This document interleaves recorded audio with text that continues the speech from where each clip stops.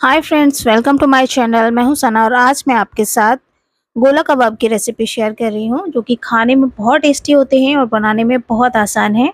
तो चलिए बनाना शुरू करते हैं गोला कबाब। तो ये कबाब बनाने के लिए मैंने यहाँ पे लिया है हाफ़ के जी बोनलेस चिकन का कीमा।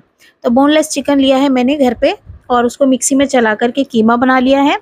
तो ये हाफ़ के जी कीमा है। इसमें हम कुछ चीज़ें ऐड करेंगे। तो यहाँ पे देखिए मैंने एक बड़े साइज़ का प्याज कद्दूकस करके उसका पानी जो है निचोड़ करके निकाल दिया है। दो से तीन हरी मिर्च ली हैं, बारीक काट करके ले लेंगे। हरा धनिया बारीक काट करके ले लेंगे। तो बस ये चीज़ें डाल लेंगे इसमें। इसके बाद इसमें कुछ मसाले ऐड करेंगे। एक छोटी चम्मच भर के इसमें अदरक लहसुन की पेस्ट डालेंगे। एक छोटी चम्मच भर के लाल मिर्च का पाउडर। वन फोर टीस्पून के बराबर हल्दी पाउडर डालेंगे कलर के लिए। धनिया पाउडर एक छोटी चम्मच, गरम मसाला पाउडर एक छोटी चम्मच, नमक टेस्ट के हिसाब से डालेंगे इसमें, और अमचूर पाउडर मैंने डाला है इसमें एक छोटी चम्मच भर के। आप चाहें तो नींबू का रस डाल सकते हैं, अगर आपके पास नींबू हो तो। मैंने यहाँ पे नींबू के रस की जगह पे अमचूर पाउडर डाला है एक छोटी चम्मच। इसके बाद इसमें डालेंगे हम भुने हुए चने का रोस्टेड पाउडर। तो भुने हुए चने ले लें, उसको आप मिक्सी में चला के पाउडर बना लें। चार खाने वाले चम्मच भर के मैंने यहाँ पे रोस्टेड चना का पाउडर डाला है। आप चाहें तो बेसन को भी रोस्ट करके डाल सकते हैं। इससे बाइंडिंग बहुत अच्छी आती है। हमारे कबाब में अब हम इसमें डालेंगे फ़ैट तो फ़ैट के लिए हम इसमें देसी घी डालेंगे, क्योंकि हमने इसमें चिकनाई वाला गोश्त नहीं लिया है। एक चम्मच भर के मैंने देसी घी डाल दिया इसमें, और अब इसको अच्छी तरीके से मिक्स कर लेंगे। सारी चीज़ों को अच्छे से मिक्स करेंगे, और कीमे के अंदर बहुत अच्छे से हाथों से मिक्स कर लेंगे इसे। तो जो मसाले हैं, हर जगह पे अच्छी तरीके से मिक्स हो जाने चाहिए।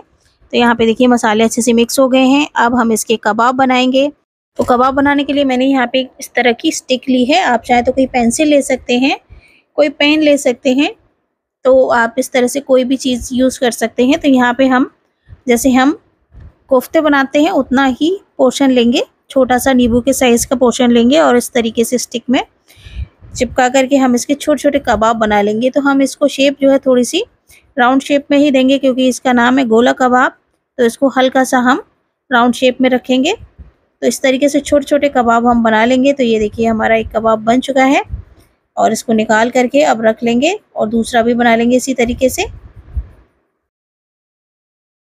तो बस थोड़ा सा पोर्शन लेना है। नींबू के बराबर हमें इसे बनाना है। बस इससे ज़्यादा पोर्शन नहीं लेना है तो यहाँ पे हमारा दूसरा कबाब भी बन के रेडी है। तो इसी तरीके से हम सारे कबाब बनाकर रेडी कर लेंगे।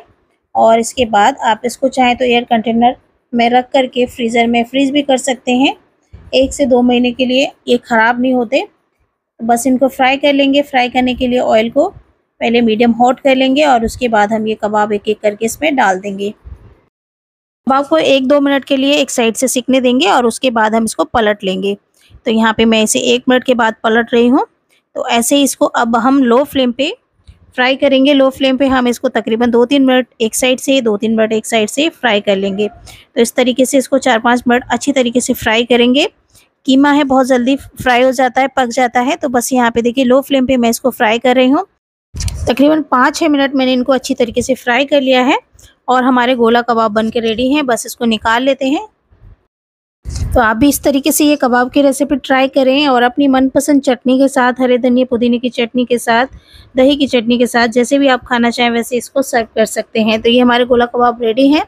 अगर आपको वीडियो अच्छी लगे तो वीडियो को लाइक और शेयर करें। चैनल पर पहली बार आएँ तो चैनल को सब्सक्राइब करना ना भूलें। And thanks for watching this video